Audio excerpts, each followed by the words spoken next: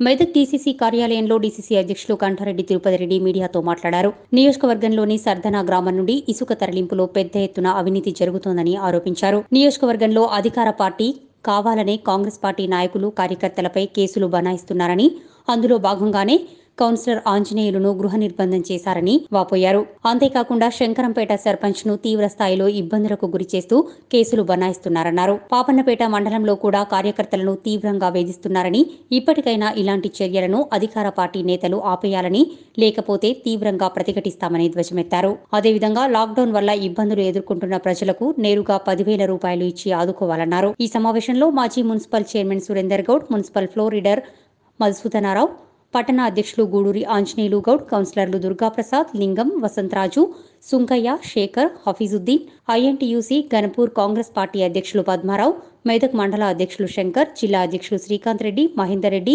నాగిరెడ్డి తదితరులు పాల్గొన్నారు. అక్కడ మంత్రి కొబ్బరికాయ వస్తే కాంగ్రెస్ పార్టీ సర్పంచ్లను కాంగ్రెస్ పార్టీ కౌన్సిలర్లను టార్గెట్ చేయడం జరిగింది. ఆ రోజు పెద్దలందరూ ఉన్నారు. మా ఐదవ వార్డు కౌన్సిలర్ మా మీద అంజనేయులు గృహ నిర్బంధం చేసింది. మా మొండి పద్మారావుకు ఎస్ఐ ఫోన్ చేసి ఇంట్లోనే ఉండాలి నువ్వు రావద్దని చెప్తారు. మా పార్టీ ప్రెసిడెంట్ను మీరు ఇంట్లోనే ఉండాలి బయటకు రావద్దని చెప్తారు. కాంగ్రెస్ కార్యకర్తలను కాంగ్రెస్ సర్పంచ్లను కాంగ్రెస్ ఎంపీటీసీలను భయభ్రాంతులకు గురి చేస్తున్నారు. దానికి తప్పకుండా తగిన ముందే మీరు చెల్లించుకోక తప్పది. నేను మన అంచనా విషయంలో డిఎస్పీ గారితో సిఐ గారితో కూడా అడిగాను మా తొమ్మిది మంది కలుస్తారని అందరిని అరెస్ట్ చేయండి. మేము వచ్చి ధర్నా కూర్చుంటాం. అసలు మీరు అరెస్ట్ చేయాల్సిన అవసరం ఏముంది?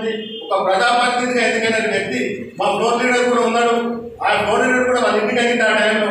అవసరమైతే అక్కడ ఉన్న కాన్స్టేబుల్ కాన్ఫరెన్స్లో మాట్లాడతా అని చెప్పిన. సీఏ గారిని అడిగాం అసలు ఆయన ఒక ఏమన్నా యాంటీ సోషలిజం ఎలా? ప్రజాప్రతినిధి ఆయన వాటా జరిగే ఇనాగ్రేషన్స్ ఉన్నాయి ఆయన మండలో జరిగే ఇనాగ్రేషన్స్ ఉన్నాయి. మీరు ఎందుకు అరెస్ట్ చేయవలసి వచ్చిందని కూడా ఆ రోజు రికార్డుగా పోలీసు వాళ్ళని అడిగితే అప్పుడు పోలీసు వాళ్ళని అక్కడికి పంపించడం జరిగింది.